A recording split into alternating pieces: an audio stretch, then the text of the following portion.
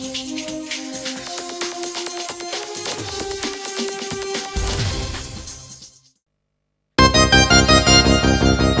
Werbung im Elsterwelle Fernsehen. Jetzt noch günstiger. 2 zu 1 heißt das Motto im Januar und Februar. Das heißt, zwei Wochen werben und nur eine bezahlen. Sie können so weit mehr als 60.000 Ihrer Kunden in Kamenz, Bernsdorf, Bergen, Laubusch, Schwarzkolm und der Stadt Hoyerswerda mehrmals täglich erreichen. Anruf genügt 03571 4 25 40. Hoyerswerda 4 25 40. Elsterwelle, wir bringen Sie ins Fernsehen.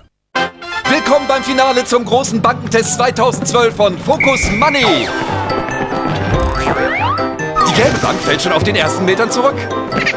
Und die orange-blauen tun sich schwer.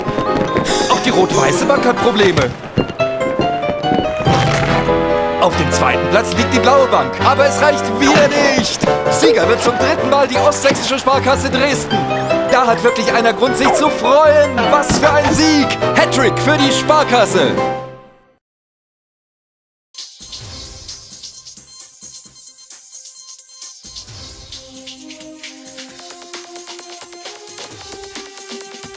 Die Drehscheibe Lausitz. Der Wochenrückblick. Jetzt hier im Elsterwelle Fernsehen. Mit Informationen aus der Lausitz und Sachsen. Hallo und willkommen, liebe Zuschauer, zu unserem Wochenrückblick. Das Kamenzer-Lessing-Gymnasium soll Teil einer neuen touristischen Route werden. Geplant ist eine Straße der deutschen Sprache, die von mehreren Städten in einer eigens gegründeten Arbeitsgemeinschaft forciert werden soll. Sie könnte die erste Ferienstraße sein, die Sprachpflege und Tourismus miteinander verbindet, heißt es auf der entsprechenden Internetseite. Der Kern der Straße wird in Mitteldeutschland liegen, also in den Bundesländern Thüringen, Sachsen-Anhalt und Sachsen. Neben Kamenz und Lessing werden dort auch die Lutherstadt Eisleben sowie das Schleizer Rutheneum als Geburtsstätte des Dudens vertreten sein. Der frühe Wintereinbruch im Dezember sorgte in Ostsachsen zum Teil für einen Anstieg der Arbeitslosigkeit. In Kamenz wurden im Vergleich zum November 93 Jobsuchende mehr registriert. Die Quote stieg auf 6,6 Prozent. In der Geschäftsstelle Hoyerswerda gab es mit 4.321 13 Arbeitslose weniger. Das entspricht einer Quote von 12,2 Prozent. Anne-Verena Pauli, Pressesprecherin der Agentur für Arbeit Bautzen. Erwartungsgemäß war im Dezember die saisonalen Gründe vorrangig, die dafür verantwortlich sind, dass gerade auch im Bereich Hoch- und Tiefbau beziehungsweise für die Berufe, die äh, draußen getätigt werden, die Arbeiten zum Erliegen kamen oder eine Winterpause dann eingetreten ist. Und äh, deshalb sind also auch äh, entsprechend die Männer mehr von Arbeitslosigkeit betroffen als die Frauen. Die meisten Stellenangebote kamen natürlich nach wie vor aus dem Bereich der äh, Arbeitnehmerüberlassung, also Leiharbeit. Dann haben wir auch im Gesundheitswesen noch Zugänge beziehungsweise Bedarfsanzeigen für Hotel- und Gaststättengewerbe. Ja, das sind eigentlich so die größten Schwerpunkte die traditionell im Vorfeld des Volkstrauertages gemeinsam von der Stadt und dem Volksbund Deutsche Kriegsgräberfürsorge durchgeführte Haus- und Straßensammlung erbrachte 2012 in Hoyerswerda erneut ein gutes Spendenergebnis von rund 965 Euro. Man dankt auf diesem Weg allen Spendern und natürlich den fleißigen Sammlern herzlich. Die gesammelten Gelder dienen der Erfüllung der vielfältigen Aufgaben des Volksbundes im In- und Ausland, wozu insbesondere die Anlegung und dauerhafte Pflege von Kriegsgräberstätten gehört. 153 Paare haben sich im vergangenen Jahr in Hoyerswerda das Jawort gegeben. Das waren fünf weniger als 2011. In der Zusestadt gab es in diesem Jahr auch eine Doppelhochzeit. Cousin und Cousine traten mit ihren Partnern an den Traualtar.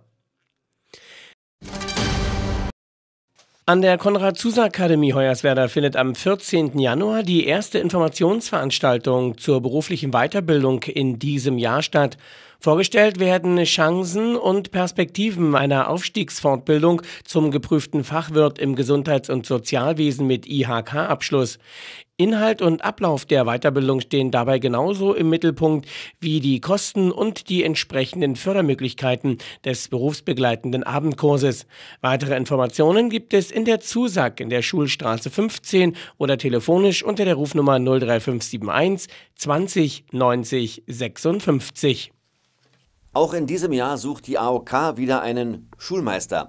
Bis zum 17. April können Jugendliche im Internet ein Quiz spielen und dort Fragen zum Thema Gesundheit, Entertainment und Allgemeinbildung beantworten. Die beste Schule aus jedem Bundesland qualifiziert sich dann für das große Finale in Berlin. Dort geht ein Sechserteam dann auf Punktejagd. Unterstützt von den Jugendtrainern von Alba Berlin müssen die Finalisten dabei Teamgeist, Geschicklichkeit, Fitness und Köpfchen beweisen. Wer hier am Ende die Nase vorn hat, darf sich AOK Schulmeister 2013 nennen und gewinnt ein Exklusivkonzert mit dem zurzeit wohl erfolgreichsten deutschen Rapper Crow. Mehr zum Wettbewerb ist zu finden im Internet unter aok-on.de. Auf ein erfolgreiches Jahr 2012 blickt man auch im christlichen Gymnasium Johanneum in Hoyerswerda zurück. Das sagte Schulleiter Günter Kiefer am Samstag anlässlich des Tages der offenen Tür der Elsterwelle. Hunderte Gäste nutzten die Gelegenheit, sich über die Angebote, aber auch das besondere Flair der Einrichtung zu informieren. Angefangen hatte man 1992 mit zwölf Lehrern, jetzt unterrichten 37 Pädagogen an der Einrichtung in der Hoyerswerda Altstadt. Die über 500 Schüler kommen aus der Region von Geierswalde bis Königsbrück, aber auch aus Städten Brandenburgs wie Spremberg, Schwarze Pumpe und Senftenberg. Schüler, Eltern und Lehrer verstehen sich als Schulgemeinde. Wenn drei Freunde auf der Bühne stehen und Musik machen, dann merkt man das. Richtig gut zu spüren war das am Samstag in der Kulturfabrik in Hoyerswerda. Die drei Heiligen hatten sich angekündigt und die Kufa war rappelvoll. Es gab eine Menge toller Balladen von den drei Schwergewichten der DDR-Musikgeschichte zu hören. Zur Zugabe brachte dann jeder seinen Superhit. Langeweile mit André Herzberg, damals bei Pankow, als ich fortging mit Dirk Michaelis, der bei Karussell spielte, und Käfer auf dem Blatt mit Dirk Zöllner, seinerzeit Chef von Die Zöllner. Wieder zahlreiche Athleten kamen am Sonntag nach Hoyerswerda, um den mittlerweile 24. Neujahrslauf zu bestreiten. Gelaufen wurde in zwei Kategorien, zwei und sechs Kilometer. Die Siegerin beim 2 Kilometer Volkslauf war die elfjährige Anna Celine Karpstein, die auch alle erwachsenen Starter hinter sich ließ. Sieger über sechs Kilometer wurde der 16-jährige Dresdner Karl Bettendorf. Ab sofort können sich Profisportler und Freizeitathleten für die Teilnahme am diesjährigen Kamenzer Blütenlauf anmelden. Das sportliche Großereignis in der Lessingstadt findet am 5. Mai statt. Beim Blütenlauf stehen Strecken von 1 und 2 Kilometern Länge für Kinder und die 6, 10 sowie 15 Kilometer Touren für Erwachsene zur Auswahl. Auch Nordic Walker und Radsportler kommen auf ihre Kosten, heißt es in einer Mitteilung. Die Anmeldungen sind im Internet unter lausitzer-blütenlauf.de möglich. Zu einem schweren Unfall kam es am Mittwochnachmittag auf der B96 zwischen Königswarta und Kaminau. Ein 52-Jähriger fuhr aus noch unbekannter Ursache auf der Bundesstraße gegen einen Baum. Er wurde in seinem Fahrzeug eingeklemmt und war beim Eintreffen der Rettungskräfte nicht mehr ansprechbar. Die Feuerwehr befreite den Mann aus dem Auto. Er wurde ins Klinikum eingeliefert. Schüsse waren am Dienstagnachmittag in der Hoyerswerda Altstadt zu hören. Dabei handelte es sich um einen Geburtstagsgruß der privilegierten Schützengilde an Diplomingenieur Thomas Gröbe. Der Planer selbst, Mitglied, feierte rundes Jubiläum, nämlich seinen 50. Geburtstag. Die Sanierung des Lessing-Gymnasiums in Hoyerswerda sowie des Bernsdorfer Rathauses werden unter anderem von seinem Büro durchgeführt. Bärendame Sussi aus dem Hoyerswerda Zoo ist tot. Sie hatte schon seit vielen Jahren altersbedingte Arthrose, die aber medikamentös gut unter Kontrolle zu halten war, informiert die Einrichtung. In den letzten Tagen wurde Susi aber zunehmend schwächer und konnte weder Futter noch ihre Medikamente aufnehmen. Daher entschied man sich am Montag, das Tier von seinem Leiden zu erlösen. Susi wurde stolze 43 Jahre. Der bisher älteste in Gefangenschaft gehaltene Bär brachte es auf 46 Jahre. Sächsische Schüler können sich jetzt für die Aktion Schaureien, die Woche der offenen Unternehmen, anmelden. Die Teilnehmer können so praxisnahe Einblicke in Betriebe und Unternehmen erhalten. Zusätzlich gibt es die Möglichkeit eines Bewerbungstrainings. Im Landkreis Bautzen haben sich bereits 63 Unternehmen für die Aktion registriert. Insgesamt bieten die Firmen im Landkreis mehr als 700 Plätze an. Dabei ist es den Jugendlichen überlassen, ob sie nur eine oder gleich mehrere Veranstaltungen während der Woche wahrnehmen. Auch Schüler, die nach dem Schulabschluss ein Studium anstreben, können sich bei Schaurein über entsprechende Karrierewege informieren. Für den Besuch in den Unternehmen werden die Jugendlichen in der Regel vom Unterricht freigestellt. Anmeldungen sind im Internet unter schau-rhein-sachsen.de möglich. Die Zahl der Handwerksbetriebe im Kammerbezirk Dresden ist erneut gestiegen. Ende Dezember waren insgesamt 22.854 Unternehmen gemeldet, das sind 157 mehr als vor einem Jahr. Mit 14,1 Betrieben je 1000 Einwohner liegt die Handwerksdichte im Kammerbezirk Dresden über dem bundesdeutschen Durchschnitt, der bei 12,1 liegt. Am Montag hat die Geriatrie im Lausitzer Seenlandklinikum in Hoyerswerda ihre Übergangsstation bezogen.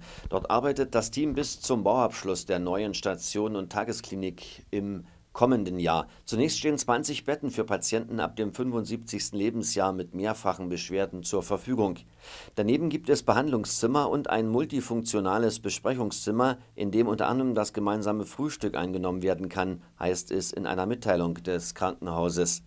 Die Geriatrie, also Altersmedizin, gewinnt in Zeiten des demografischen Wandels immer mehr an Bedeutung, sagt Diplommedizinerin Michaela Stöckel, die seit September 2012 Chefärztin der Klinik für Geriatrie im Lausitzer Seenlandklinikum ist der Umzug des Hoyerswerda Vereinsdomizils Haus der Parität in das benachbarte ehemalige Frauenhaus ist abgeschlossen. Wie die Stadtverwaltung mitteilt, wird derzeit eingeräumt, allerdings funktioniere die telefonische Erreichbarkeit noch nicht. Ab Donnerstag sollen die Telefonleitungen schrittweise eingerichtet werden. Bis dahin bleibt bei Anfragen nur der Weg direkt vor Ort in die Heinrich-Mann-Straße 37. Nacht zu Dienstag sind Unbekannte in Königsbrück in eine Gemeinschaftspraxis in der Griffenhainer Straße eingebrochen. Sie waren offenbar auf der Suche nach Computertechnik und Bargeld. Der Schaden wurde mit etwa 1800 Euro angegeben. Die Kriminalpolizei hat die Ermittlungen übernommen. Am Dienstagabend ist in Spremberg eine Studie zum Problem der Braunfärbung der Spree vorgestellt worden. Schuld daran ist eine Belastung des Wassers durch Eisen und Sulfate. Die Stoffe gelangen durch ansteigendes Grundwasser und Niederschlag aus den Kippen der ehemaligen Tagebauer in die fließenden Gewässer.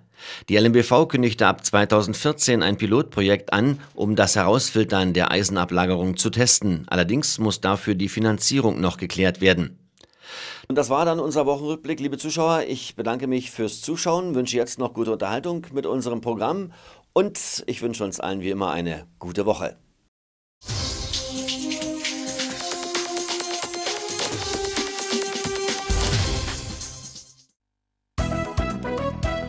Steht im Mittelpunkt unserer Arbeit. Ihr Pflegedienst und Fahrservice vergissen wir nicht. Fahrdienste aller Art, auch für Rollstuhlfahrer auf Wunsch mit Begleitung. Mittagsmenüs der Catering GmbH des Lausitzer Seenland Klinikums bringen wir zu Ihnen nach Hause. Und das alles in und um Hoyerswerda, Elsterheide und Kamenz. Sie erreichen uns rund um die Uhr unter Hoyerswerda 47 49 97.